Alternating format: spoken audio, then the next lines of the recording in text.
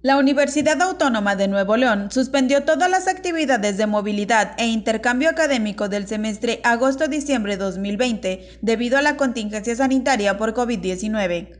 Las autoridades universitarias argumentaron que el principal objetivo durante esta pandemia es salvaguardar la integridad de sus alumnos, profesores e investigadores, por lo que optaron por la medida de suspensión. Dicha medida afecta a 163 estudiantes en el semestre de agosto a diciembre, así como a los alumnos de otras instituciones que llegarían a la máxima casa de estudios.